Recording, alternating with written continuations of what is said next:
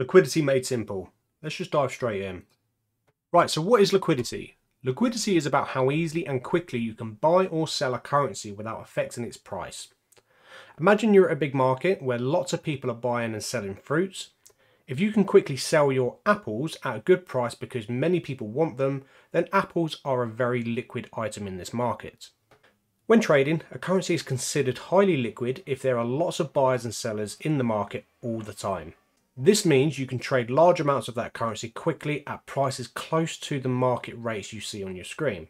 The most liquid currencies are ones like the US dollar, the euro, the Japanese yen, because they are traded all over the world. So there's always someone willing to trade them. So trendline liquidity, the big players in the markets will often engineer certain types of price action in order to encourage traders into the markets.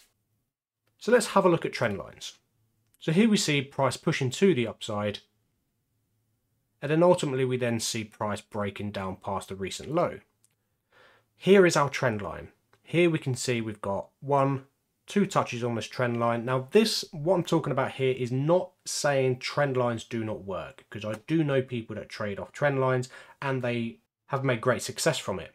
But what we need to understand is even the most successful strategies out there, whether it's SMC, trend line, support and resistance, anything like that, at some points those strategies or those trading styles will become liquidity at some point. Now, because we can see the buyers are in the markets around this point and this point and this point, in order for the larger institutions to continue pushing price in the direction they are intending to, they will need to grab liquidity at some point. So they will need to then load up some sell orders, which will then anticipate traders to be in the markets around this point when price touches this trend line once again. Once this area is then broken, these trendline traders will likely then be looking to trade the retest of this. So they will be looking for price to come up, touch the other side of the trend line, and continue going short. Now, in situations like this, if it's the intentions of the higher institutions, they could then continue pushing price back to the upside, breaking past this high, taking liquidity in two points. First off, the buyers that were looking to buy off of this trend line bounce here. And secondly, the traders that were looking to trade the retest of the trend line. So when price breaks through down here and pushes to the upside, touches the trend line again. Imagine if this line is extending out here. All right, they are looking to trade the retest of this trend line. And when price pushes to the upside, they then get taken out. That is the liquidity taken from the markets.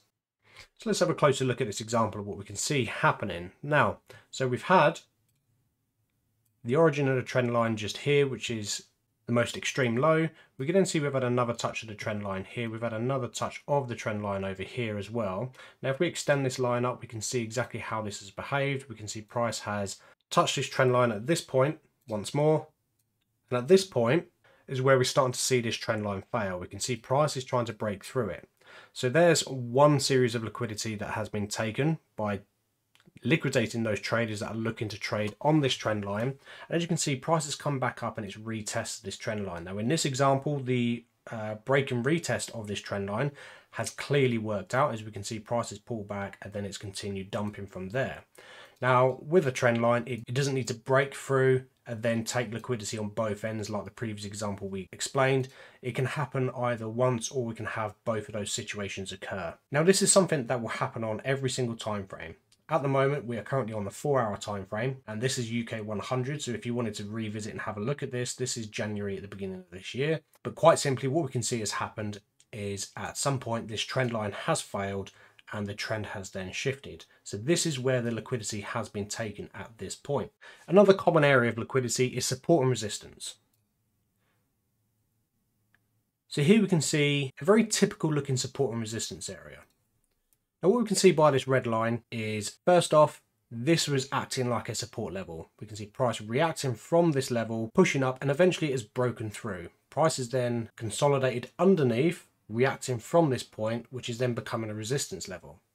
Now, how this then becomes a liquidity point is in a couple of ways. The traders that are looking to trade the rejections of this support level will be looking to trade long here.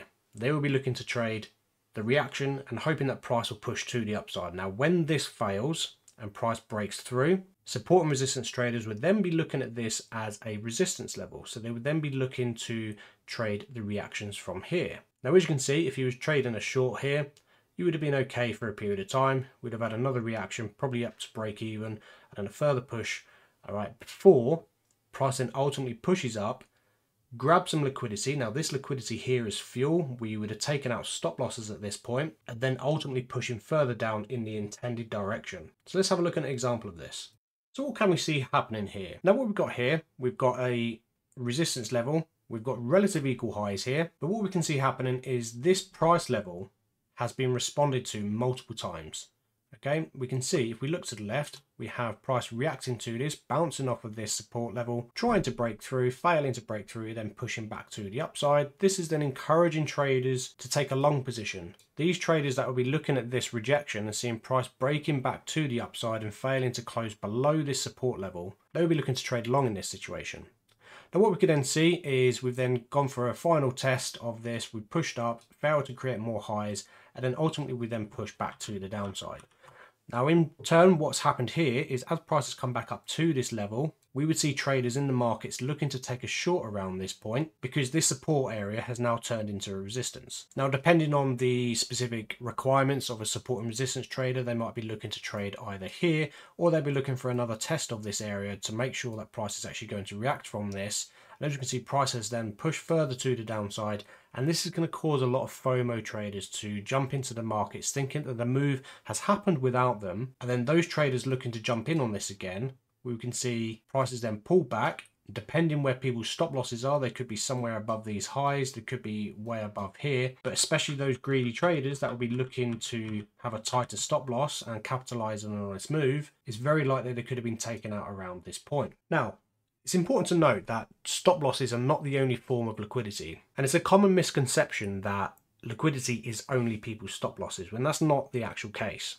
All right, so for whatever reason, we may have some traders around here that were trading long. They could have been looking for a change of character in the market, trading along here. They could have been looking for longs for all sorts of many reasons. Could be an EMA reason, could be another support level down here, could be various reasons why. Now, another form of liquidity is people to take profits. Okay, so if there is people looking to take a long up here and they were aiming for this structural high here, when their take profit is hit, that is them selling their position back to the markets. So if they are selling their long positions, the institutions that are looking to sell at this level have then grabbed some liquidity, which means those long positions are now being sold back to the market and it can then help fuel that push to the downside. Another form of liquidity is order blocks. Some people refer to this as transactional liquidity, but either way we can refer to them both as the same thing. Now one of the most common things I see, especially from traders that are trading smart money concepts, is they are solely focused on just order blocks. And another characteristics they look out for is a change of character. So let's have a look at a situation where a smart money trader could be taken out as liquidity. So here we see a bullish trend pushing to the upside. We've got a break of structure.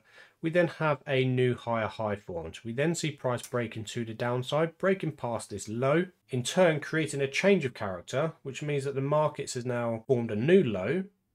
And the anticipation from a lot of smart money concept traders is trading the reaction of a order block that has caused this change of character. So if we had an order block up here, these traders would then be looking for shorts around here, hoping that they are going to catch the beginning of a new trend. Now, the common problem with this is, is a lot of traders will be looking for a change of character anywhere in the markets.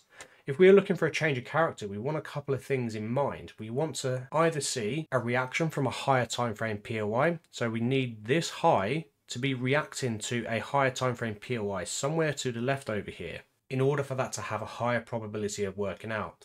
If we have nothing to be reacting from and no reason for price to react from this, then it's quite simply going to be a liquidity grab here, pushing price to the upside, then grabbing liquidity from those early impulsive sellers in the markets before price continues pushing to the upside. And those short traders in here are then left licking their wounds, wondering why the markets have gone against them. When in actual fact, nine times out of ten, they are just looking for any old change of character on any time frame.